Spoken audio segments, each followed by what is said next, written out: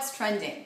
So today we're talking about a really fun and playful fall trend that everyone should be able to rock. And that is blinging out your everyday wear. Today I've got a t-shirt on that I found at Old Navy. They're really into this right now. This whole like take a t-shirt and then bling it out with sequins and rhinestones.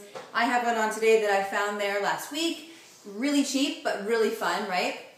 Also places like J. Crew are even kicking it up and they are using, you know, your everyday wear like sweatshirts, cozy sweatshirts, but then adding these beautiful like gemstone embellishments that really kick it up. And you could wear these sweatshirts that are blinged out with like a cute skirt and some pumps or boots and you're good to go.